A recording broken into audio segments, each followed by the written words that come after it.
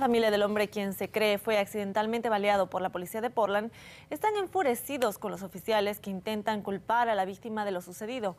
Ayer hablamos vía telefónica con la esposa de la víctima, quien dice que en ningún momento su esposo les disparó, como ellos aseguran. Sandra Pérez nos cuenta más desde la sala de noticias. Adelante, Sandra.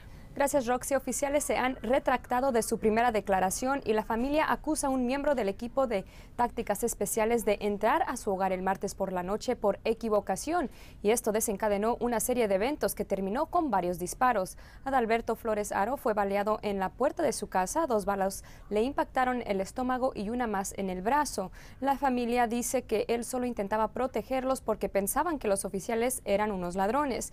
El equipo, el equipo de tácticas especiales del condado Washington se encontraba en el vecindario asistiendo a la policía de Portland en el arresto de un hombre que vive a dos casas de Adalberto.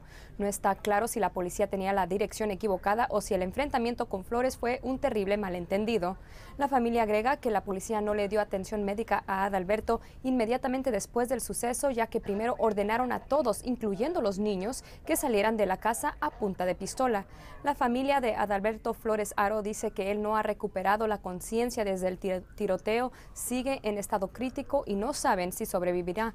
La policía aún no ha dado entrevistas eh, sobre este caso. Nosotros los mantendremos al tanto del desafortunado incidente. Desde la sala de noticias, Sandra Pérez, Noticias Noroeste.